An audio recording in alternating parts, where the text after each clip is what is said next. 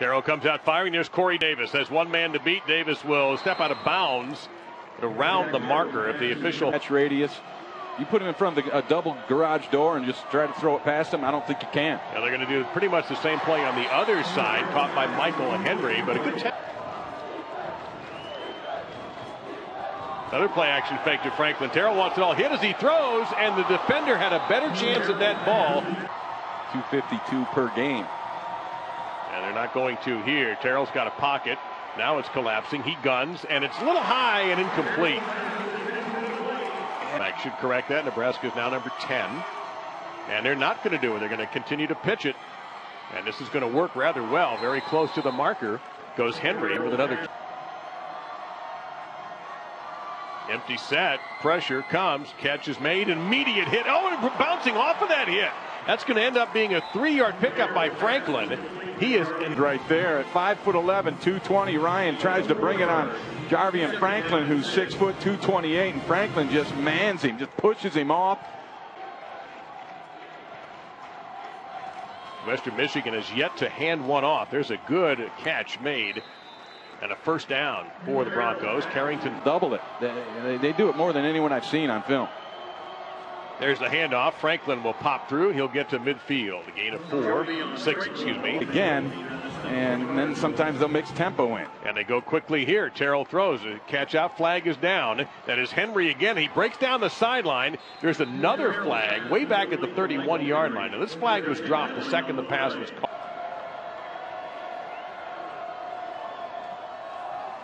Now Bogan and he's in that pile somewhere. He'll get about four yards, three yards to the 31. Same time. Bogan's a little injured now, and he is not looking uh, injured there no. though, as he gets to that second level and gets the first down to 23. Four games. It's been Jamar, uh, excuse me, Jarvion Franklin. Franklin again. Franklin, Goodbye. forget it. He's in. Touchdown Broncos. Boy, that was well blocked. And again, that first guy is almost never going to get Franklin. So Western Michigan. Jarvion Franklin just gutted him with it. See that blitz that comes in? It was really well blocked, especially by Chuks. Okora. Jarvion Franklin is back in at tailback, number 31 for WMU. Fake to him. Terrell going to take it. Oh, his receiver's wide open. Corey Davis. He'll make the catch. This is an easy six for Western Michigan. Understand, but get points. Terrell with a fake. He wants another long shot. Oh, Davis oh is open again. He got behind the defense. He'll make the. No, he won't make the catch. It is incomplete. The pass hung up just a touch.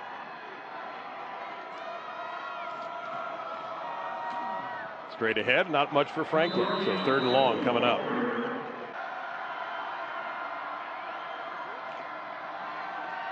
Terrell's got a lot of time caught by Ernsberger, the tight end, but he'll be brought down short of the first down. He fought for an additional couple of yards. That's just his third. Franklin is the tailback for the Broncos. He'll get it, and he'll get nowhere. Middle of that Ball State defense. Second. Slant pattern, Corey Davis. That's a famous move if he will go in the opposite direction of where you think he's going, and he'll pick up 11.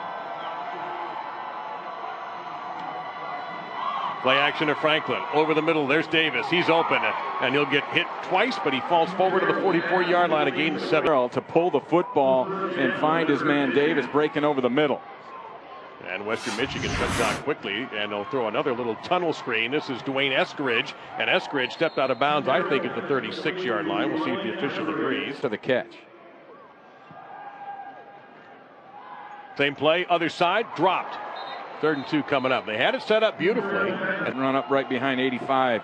Donnie Ernsberger. They're going to do a long handoff instead. This is going to work too for Western Michigan. Michael Henry will get a first down as he falls at the 31 year WMU team to look forward to for next year. They've had the top rated recruiting class in the MAC since PJ Fleck got there. Terrell going for Davis, who flashed open, making. Did he hang on to that? Is that a catch? It is. Oh man, he's done it again. Another highlight catch by Corbin zone, but this one is right up there with him. And uh, not the greatest deep throw by Zach Terrell, but effective enough. And now WMU has two timeouts.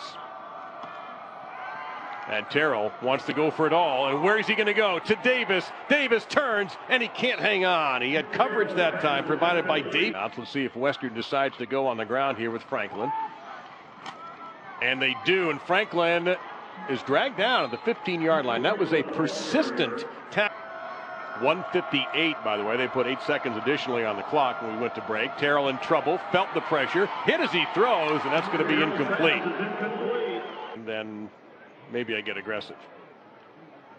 Nope, play action. Terrell scrambling. Got him. Oh, he does have him. Davis coming across, can't get there. The pass was just overthrown. I saw what you saw at the end when you said got it. That's on first down. That's the best time to do it. Now they're going to try again. Terrell in trouble. He's got some room if he wants to run. Instead, he's going to throw. That's a long and difficult throw. The pass made. There goes the Gatorade table. route from that number three position in trips. Pressure, look out. Terrell got hit as he throws, and he threw behind Thompson, but he didn't. 39 seconds remaining. That's Winbush again, rushing the edge from the top. And they also blitzed, so there was a lot. Of picks were uh, against the rules. Yeah, the rubs, he kind of corrected it a little bit. Terrell pumps once. Davis gets open. He gets inside Ball State territory. 25. Oh, he hey. makes a great move. That's unbelievable. That's Corey Davis. That's his third touchdown of the night. Six. Now with three touchdown passes, all to Davis as this combination continues to light up college football. Watch how this throw leads Corey Davis across the field and away from the defender. See how he flattened him out there a little bit? And then, of course, after that, it's Davis doing what Davis does. 23 passes and ran the ball only seven times.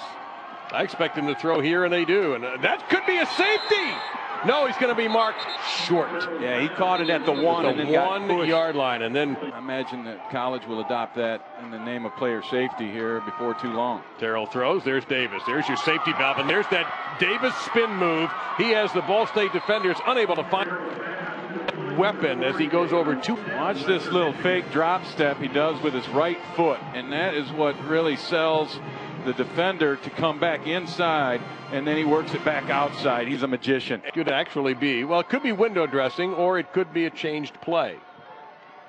It'll be a handoff, and Franklin busts through, and he'll get outside the 4 and 30 to the 38 yard. Wyoming now, who has the lead in that division out in the Mountain West. That's Coach of the Year stuff that Craig Bohl has done at Wyoming this year. Wide open top of the field is Michael Henry. Henry makes a move, gets to the 35, and bumps shoulders and is down at the 32 yard line. Screen or fake quick screen, and both defenders went with the guy who went deep. Nobody stayed down home. You saw the, the pump fake, so there was nobody left. He had a career high 398 yards last week against Eastern Michigan. Back to the ground. Franklin bouncing off defenders, breaking a tackle and getting to the 23 yard line. On the safety last week.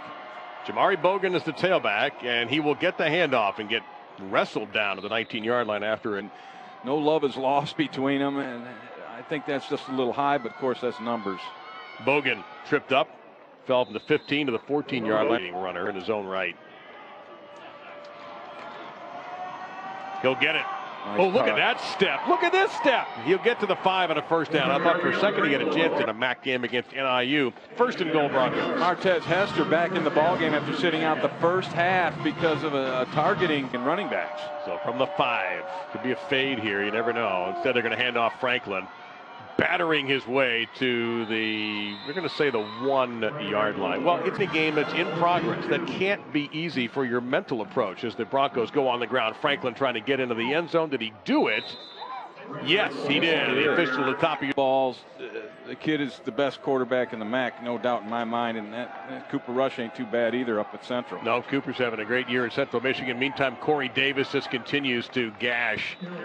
He had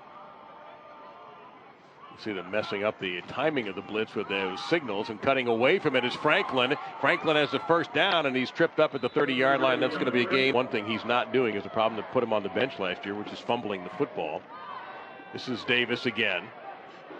And he'll stutter step to the 36, fall forward, maybe to the 37 yard. Reggie Wayne had a fabulous career with the Colts, and there's no reason to think that Davis won't be successful in the NFL.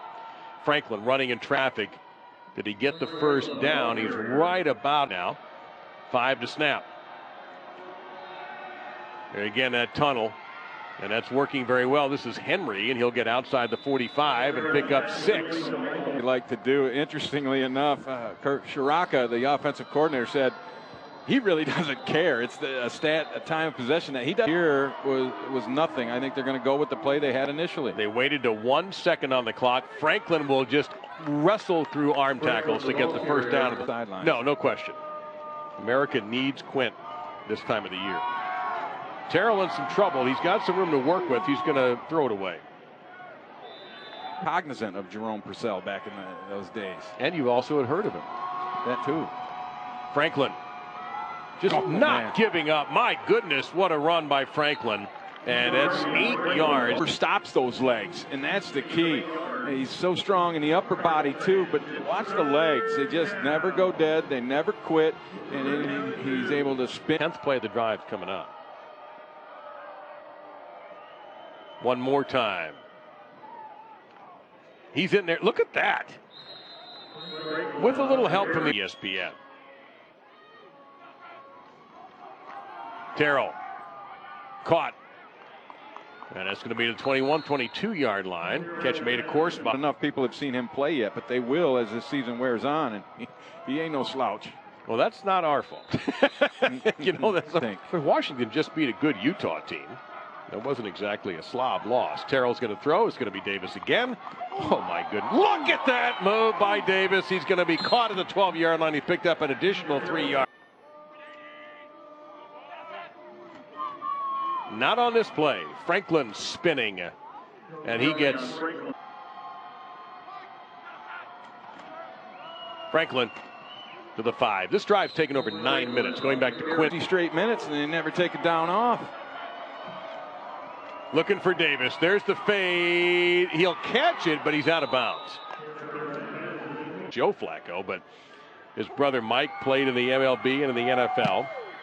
And Davis, now there it is. There is the record breaker. record for one of a dozen finalists. And we congratulate him for that. That's an incredible achievement. In the meantime, Western Michigan takes off. Look at Flacco. He got some speed. He'll get tripped up inside the five down to the three yard line.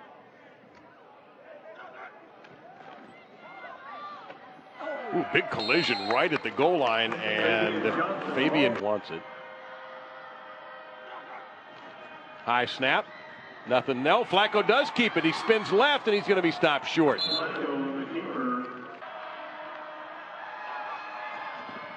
One more time. And bouncing off and getting into the end zone is Fabian Johnson.